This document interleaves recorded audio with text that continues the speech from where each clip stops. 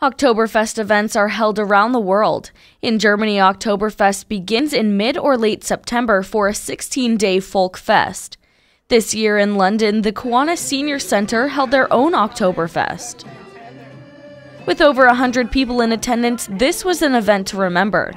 Like many members, Bonnie has been a member of the Kiwanis Senior Center for over 21 years.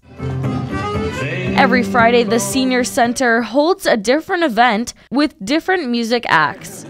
This Oktoberfest held the Kaiser Cats duo. With walking aids cleared out of the way, members are free to dance in the crowd. For more information on upcoming events, call 519 661 5740. XFM News, I'm Holly Miller.